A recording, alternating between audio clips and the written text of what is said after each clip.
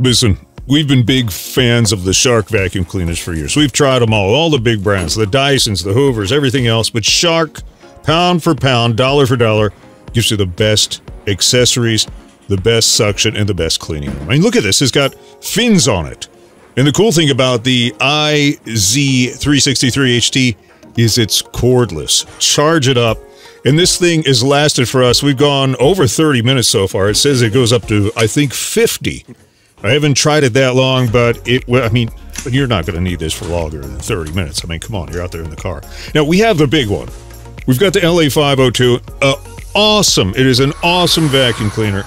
But this thing just offers the flexibility because it's cordless. Now we can get up into the corners without having I mean, there's the, the pull away too, but there's just some places just kind of a pain to get to with a cord. Now check out all these brushes. I thought these were the same exact brushes. I thought they made a mistake, but this one comes off has a little lock thing, which is great for cleaning up the little crumbs that get between the, the nooks and crannies in your seat in your car from eating in there. I mean, it happens all the time. And it's really hard to get those things with the wand. But this brush just kind of knocks them up just enough to get them out of the cracks and makes it, it looks beautiful. It looks like new.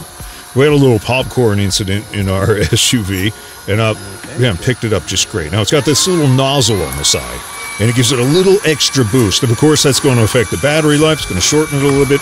But man, the power this thing has for a cordless is unlike any other cordless I've ever seen. I've got some knockoffs, some no-name brands, but the Shark pound per pound, again, it's just so much suction. Look at this brush. The anti, I think this is an anti-allergen or dust brush. And it also has a HEPA filter built into this thing too. I've never seen that in a cordless before. And of course the power fins, which we have on our LA502 as well. So you can take it apart, it's modular, you can use the wand if you want to. And of course, you know, if you have this thing, you may not even need the corded one anymore. If your place is small enough, it's got the headlights on it. It's got the fins on it. It doesn't wrap hair around the roller because it's got that fin system. I mean, this is really everything you would ever need in a vacuum cleaner. And again, it just it's cordless. Two settings here. It does carpet, bare floor, and of course off. If you're just using the uh, the, uh, the the cordless part for your car, it's not going to make a difference unless it detects this head is attached. So you don't have to worry about that. You flip it to either setting, and it doesn't care.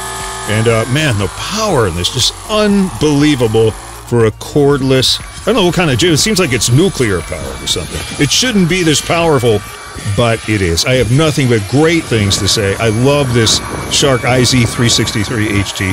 Probably, hands down, my favorite vacuum cleaner in the entire world. By far, the best cordless one. Pick it up, man. Get two of them.